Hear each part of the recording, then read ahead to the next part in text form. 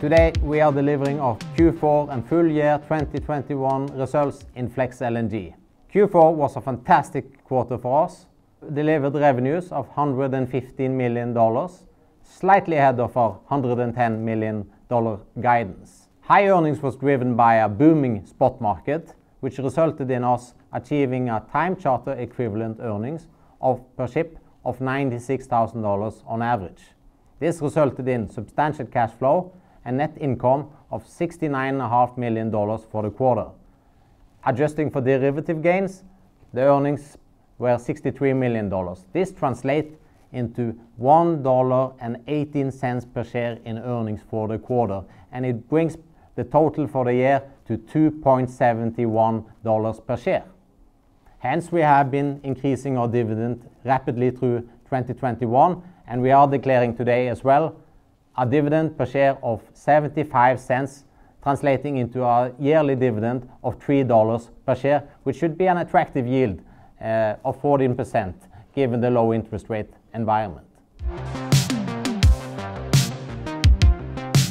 Given our strong financial performance, cash balance at end of the year grew from $138 million at end of Q3 to 201 million at end of the year, giving us ample financial flexibility.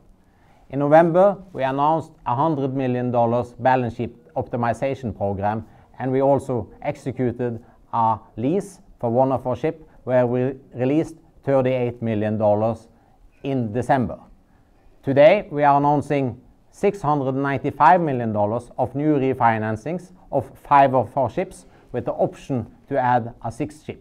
This will release minimum $87 million of free liquidity, bringing the total to $125 million minimum of free liquidity released just the last three months. The LNG market continued to improve in 2021.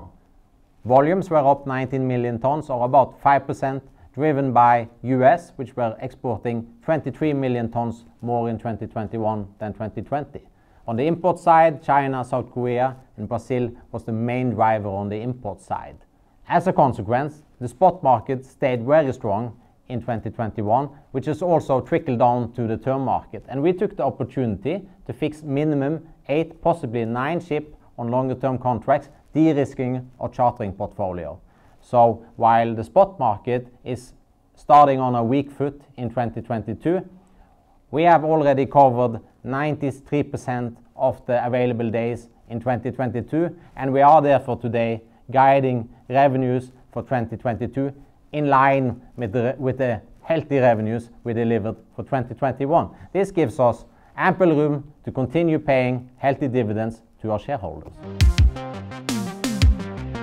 We are today at 3 o'clock Central European Time, 9 o'clock Eastern Standard Time, webcasting or Q4 and full year presentation.